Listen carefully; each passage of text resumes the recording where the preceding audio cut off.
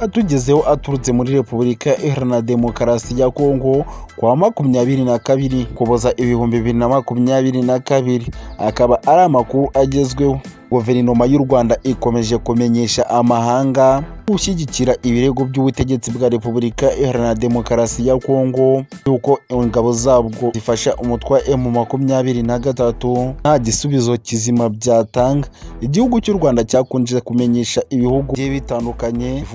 yuko bufasha emu makumyabiri na gatatu yuko ntaho bahuriye n'ibibazo bya repubulika iharanira demokarasi ya kongo ibibazo bya repubulika iharanira demokarasi ya kongo ari ibyabo ubwabo byinshi kuri aya makuru reba munsi ya video ukore kuri iyo buto itukura ukore subscribe bityo wiyongere mu muryango mugari w'ababana natwe ni amakuru agezweho kwa makumyabiri na kabiri ukuboza ibihumbi bibiri na makumyabiri na kabiri akaba ari amakuru agezweho guverinoma y'u rwanda yamenyesheje amahanga y'uko gushyigikira ibirego bya repubulika iharanira demokarasi ya kongo uko bafasha umutwe witwaje intwaro wa emu makumyabiri na gatatu nta gisubizo kizima byatanga mu butumwa bukubiye mu itangazo ryashyizwe hanze n'umuvugizi wa guverinoma y'u rwanda kuri uwa makumyabiri na rimwe ukuboza mu mwaka w'ibihumbi bibiri na makumyabiri na kabiri bisubiza amatangazo y'ibihugu bitandukanye byo mu burengerazuba bw'isi ushinza ingabo zarwo gufasha emu makumyabiri na gatatu guverinoma y'u rwanda ivuga yuko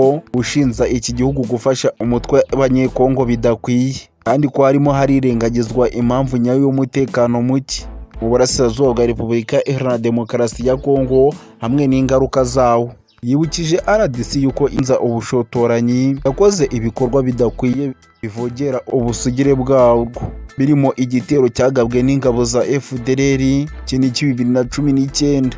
byo mu ntangiriro z'uyu mwaka wa bibiri na makumyabiri na kabiri musanze kuba indege y'intambara yabo yaravogereye ikirere mu karere ka rubavu n'abasirikare babo binjiye mu rwanda yagize ati nk'ibindi bihugu byose u rwanda rufite uburenganzira bwo kurinda ubusigire bwarwo kandi rufite uburenganzira bwo kurinda imibibi yarwo n'abaturage ibitero byambukiranya imipaka guverinoma y'u rwanda irahamya yuko ubutegetsi bwa rdc bwananiwe kurinda imitwe yitwaje intwaro ijana na mirongo itatu ikorerayo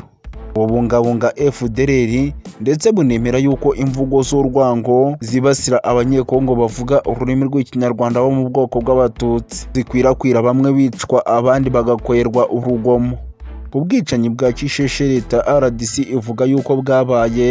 tariki ya makumyabiri n'icyenda ugushyingo bibiri na makumyabiri na kabiri Guverinoma y'u Rwanda ivuga yuko ishoboye kuba ari inkuru mpimbano yegetswe kuri M makumyabiri na gatatu ukurikiza byihuse nta rwego rwizewe wabanje gukora iperereza bivuga yuko hari ibimenyetso bigaragara yuko ubwicanyi bwa kisheshe ari imirwano yahuje M makumyabiri na gatatu n'ihuriro ry'imitwe yitwaje intwaro rishyigikiwe na leta ya RDC irimo FDLR bityo ko kwemeza iyi nkuru nta perereza byabanje gukorwa bigaragaza akavuyo gakomeje kuranga iki gihugu cyo mu burengerazuba nanone ku mahanga akomeje gushinza u rwanda gufasha umutwe wa emu makumyabiri na gatatu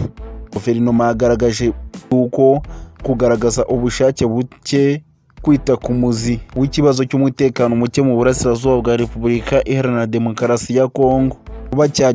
cyaryozwa abagiteje baba abo muri leta cyangwa batayibarizwamo ibintu bikaba bikomeje kuba mu gihugu cya repubulika iharanira demokarasi ya kongo atari byiza mu gihe iki gihugu cya repubulika iharanira demokarasi ya kongo gikomeje kugaragaza yuko kidakozwa inzira y'ibiganiro muri repubulika iharanira demokarasi ya kongo ibibazo bikomeje kuba ibibazo by'umwihariko ku banyekongo bavuga ururimi rw'ikinyarwanda bo mu bwoko bw'abatutsi bakandamizwa ku buryo bukomeye cyane igihugu cya repubulika iharanira demokarasi ya kongo kikaba cyaronye byatangiye kubura imirwano ku buryo bukomeye cyane iki gihugu cya Kongo kikaba gitera umutwe wa M makumyabiri na gatatu ku birindiro byabo nyuma y'agahenge umutwe wa M makumyabiri na gatatu wari watanze ku butaka bwa Kongo ndetse ugiye no kubahiriza amasezerano y'i Rwanda n'i Nairobi ariko igihugu cya leta ya Kongo FARDC ingabo zabo zigahita zikora operasiyo zikomeye ndetse zikanahamagarira imitwe yitwaje intwaro yose ikorera mu burasirazuba bwa Repubulika Iharanira Demokarasi ya Kongo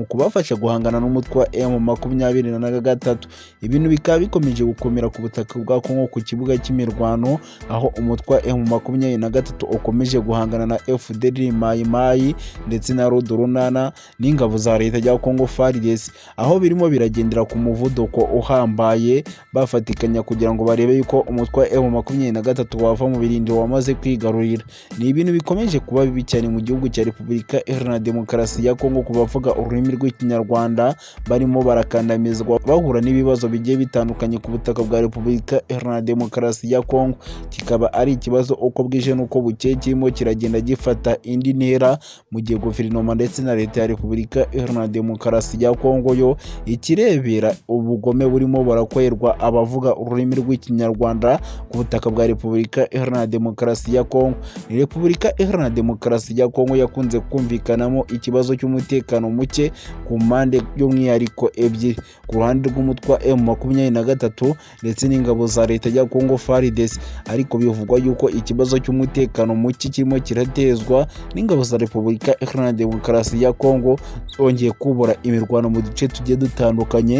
imirwano yari yatanze agahenge k'iminsi mikeya umutwa emu makumyabiri na gatatu ukongera guterwa bikomeye n'ibitero bikomeye by'ingabo za leta ya kongo faridesi e igihugu cya repubulika iharanira demokarasi ya kongo gikomeje kugaragaza ubushake bukomeye bwo gushaka guhangana n'umutwa emu makumyabiri na gatatu mu gihe umutwa emu makumyabiri na gatatu wo uvuga yuko udashaka intambara na repubulika iharanira demokarasi ya kongo ahubwo icyo bakeneye yuko ari ukujya ku meza n'ibiganiro ni perezida antoine fili Felix Tshisekedi ukomeje kugaragaza yuko adakozwa inzira y'ibiganiro mu gihe avuga yuko azakomeza guhangana n'umutwe wa M makumyabiri na gatatu kugera aho aziyamamaza mu matora aza mu mwaka w'ibihumbi bibiri na makumyabiri na gatatu nta mutekano muke ukirangwa mu burasirazuba bwa Repubulika Iharanira Demokarasi ya Kongo uburasirazuba bwa Repubulika Iharanira Demokarasi ya Kongo rero ibintu bikomeje gukomera hagati y'impande zombi byaba umutwe wa M makumyabiri na gatatu ndetse n'ingabo za leta ya Kongo FARDC zirimo zirafatanya n'imitwe yitwaje intwaro